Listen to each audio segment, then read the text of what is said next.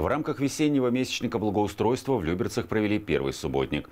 На уборку города во дворы и парки жители вышли ранним утром. Тему продолжит наш корреспондент.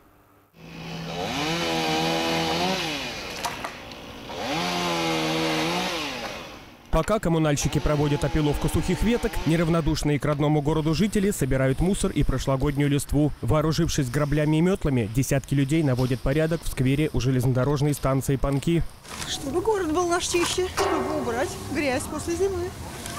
Мы делаем это для своих детей тоже в первую очередь. Здесь же детская площадка, здесь сквер, здесь гуляют детишки, поэтому это очень важно, я считаю.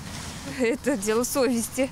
Уборка территории. Посмотрите, сейчас какую чистоту наведем. А это сквер на Волковской улице. В прошлом году по просьбам жителей эту территорию благоустроили. Теперь люберчане постоянно поддерживают здесь чистоту. Собираем листву, грузим ее и увозим на свалку.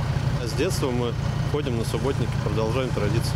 В рамках месячника благоустройства до конца апреля в городском округе Люберцы проведут еще три субботника. Общеобластной состоится 20 апреля.